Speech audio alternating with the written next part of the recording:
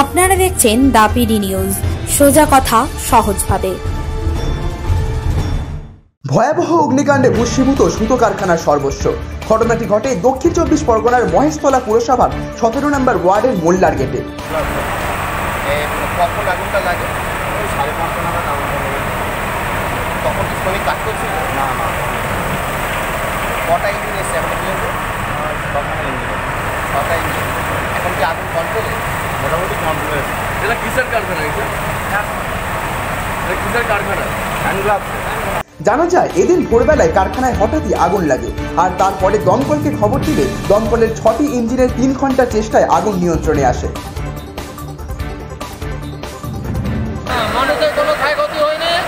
সব ঠিক আছে শুধু যাই ক্ষতি হয়েছে মালের ক্ষতি হয়েছে তারা কিছু হয়নি। কটা ইঞ্জিন এসছে? নিয়ন্ত্রণ? হ্যাঁ আগুন পুরো কন্ট্রোল করে নিয়েছে কোনো ক্ষতি হয়নি মালের ক্ষতি হয়েছে তারা কিছু হয়নি। ক্ষয়ক্ষতির পরিমাণ? কি বললেন ক্ষয়ক্ষতির পরিমাণ? এখন কিছু বলা যাচ্ছে না। তবে আগুনে ক্ষয়ক্ষতির পরিমাণ লক্ষাধিক টাকার বলে জানা যায়। ঘটনায় হতাহতের কোনো খবর নেই। মহেশতলা থেকে উজ্জ্বল হাজরার রিপোর্ট দ্য পিডি নিউজ। আপনি কি নিজেকে নতুনভাবে খুঁজে পেতে চান? আধুনিকতার মোড়কে নিজেকে সাজিয়ে তুলতে চান? তাহলে অবশ্যই আসতে হবে ডায়মন্ড হারবার হাবিবস হেয়ার অ্যান্ড বিউটিতে হ্যাঁ হাবিবস এখন আপনার শহর ডায়মন্ড হারবারে তাহলে আর দেরি কেন? চলে আসুন হাবিবসে হাবিবস এখন আপনার নাগালে। আপনি কি বাজাজে টু হুইলার কিনতে চান? তাহলে অবশ্যই আসতে হবে ডায়মন্ড হারবারে জ্যোতি মোটরসে যে কোনো টু হুইলার্স এর ইন্স্যুরেন্স করা হয় এখান থেকে। শুধু ডায়মন্ড হারবার নয় বাজাজের টু হুইলারের বিশেষ সম্মান নিয়ে এখন থেকে আমরা লক্ষ্মীকান্তপুরের বিজয়গঞ্জে। বাজাজ বাজাজ মানেই জ্যোতি মোটরস।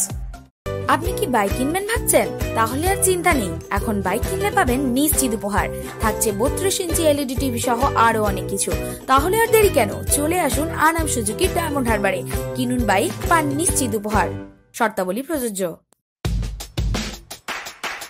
খবর দেখতে সাবস্ক্রাইব করুন আমাদের YouTube channel the PD news update থাকার জন্য বেল আইকনটি প্রেস করুন।